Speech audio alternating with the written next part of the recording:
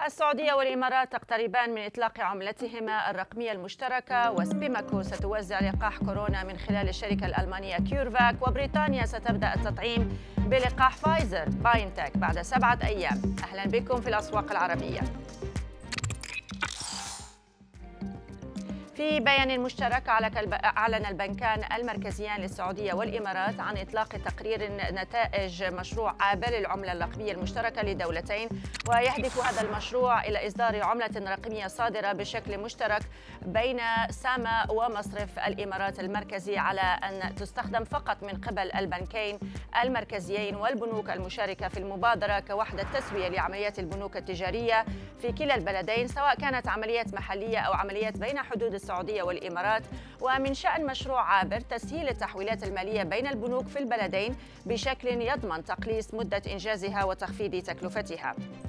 أيضا وقعت شركة سبيماكو مذكرة تفاهم غير ملزمة مع كيورفاك الألمانية لتوفير لقاح فيروس كورونا في المملكة. وبموجب مذكرة التفاهم ستقوم سبيماكو بالتقدم للحصول على الموافقات اللازمة لجميع المتطلبات التنظيمية المتعلقة بتسجيل وتوريد وتوزيع اللقاح ثم الاتفاق النهائي على البنود التجارية. اشتملت مذكرة التفاهم على إمكانية توسيع حقوق التوريد والتوزيع لاحقا لتشمل الإمارات والكويت والبحرين وسلطنة عمان.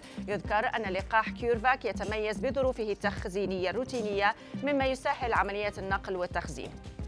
صرحت مصادر لصحيفة فاينانشال تايمز أن بريطانيا ستصبح الدولة الأولى التي تعتمد لقاح فيروس كوفيد الذي طورته فايزر وبايونتك على أن تبدأ عمليات التطعيم آه اعتبارا من السابع من ديسمبر.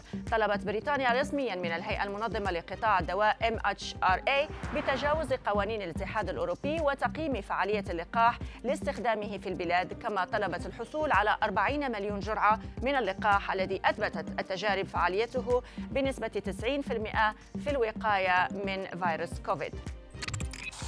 هو الذهب ب 2% يوم الجمعة وذلك ليتراجع عن مستويات ال 1800 دولار الأنصة وهي أدنى مستوى في خمسة أشهر. يأتي ذلك في ظل بيع المستثمرين المعدن الأصفر وسط الأنباء الإيجابية لقاح كورونا والانتقال السلس للرئاسة الأمريكية. تراجع الذهب الأسبوع الماضي ب 4.7% وهي أكبر خسارة أسبوعية له منذ أسبوع الثالث عشر من مارس الماضي.